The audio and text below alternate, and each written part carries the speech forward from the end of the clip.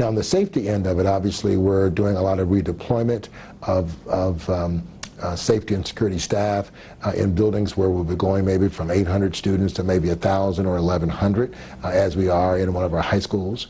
Uh, remember, we made some efficiency decisions to close some schools that were low in enrollment, uh, redirect those students to other schools where there was space.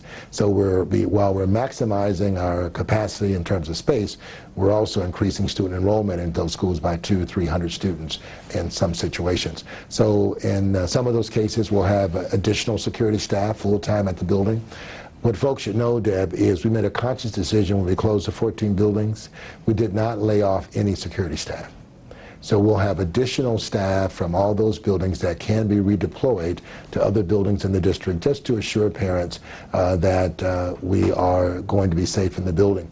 Now, the other thing we've done this year that we've done in previous years, but we probably have heightened the urgency, is really around the collaboration of safety and security forces from throughout the city the, the reality is it takes neighbors and parents and interested citizens to make sure that kids are safe on the way to school, which may be two or three blocks from the school. Uh, and obviously we take full responsibility in the course of the school day. And then the key is, of course, after school and the walk back home. We have uh, walking routes that we've identified as safest walking routes for the kids.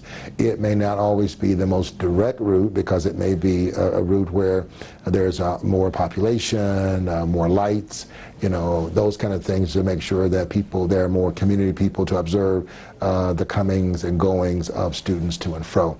But we're working very closely with the Cleveland Police Department, with uh, RTA Safety, with CMHA Safety, with uh, safety forces from Tri-C, uh, and a number of other agencies, including um, uh, the prosecutor's office and other security folks, just to make sure that we're putting bodies on the ground so people feel safe to and from school. That's always been a priority.